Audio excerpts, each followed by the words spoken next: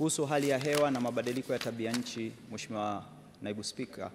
uh, wizara kupitia TARI na Liendele na Mlingano sasa hivi wanafanya mapping ya soil na kuweza kutoa elimu kwa wakulima kutokana na ekolojia ya maeneo husika, na hili zoezi ni ongoing, na tutakapoanza programu ya soya katika mikoa ya kusini uh,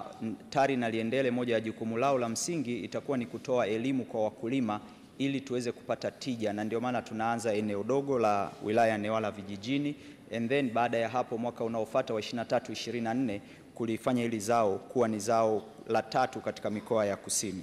Kuhusu masoko, Mheshimiwa na, na, Naibu Spika, changamoto ya masoko ipo hasa kwa mazao ambayo siyo ya msingi ya chakula kwa binadamu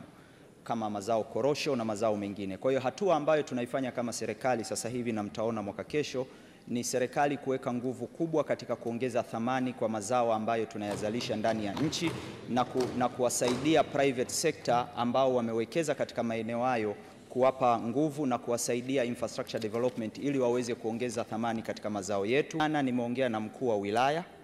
tumeongea namna gani baadhi ya maeneo ambayo ni tarafa ambazo zina wakulima wengi ziweze kufikiwa mbolea, na tumeiomba halmashauri yake iweze kutusaidia kupata usafiri ili sisi tuweze kuwasaidia mafuta waweze kusambaza mbolea maeneo ambayo mawakala hawafiki, lakini wakala yupo jimboni kwako na anauza mbolea. Tatizo lililoko ni mbolea kufika vijijini, jambo ambalo tunashirikiana na ofisi ya mkurugenzi na DC kwa ajili ya kufanya hivi baada ya wewe kuleta hili lalamiko kwetu.